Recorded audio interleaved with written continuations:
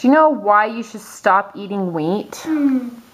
Well, sometimes wheat, you might you might be allergic to it, so you probably should stop eating it.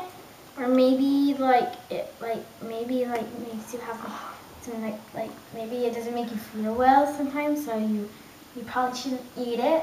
And maybe it makes you like um yeah like probably an allergic reaction or or it just makes you doesn't make you feel well or or like your doctor says not to eat it so that you'll heal from something. I don't know.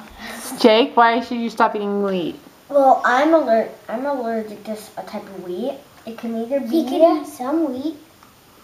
can either be that you should you have an allergic reaction, or it can either be that your body your body or your intestines can't handle it, so you should stop eating it till you heal and you're able to eat wheat again.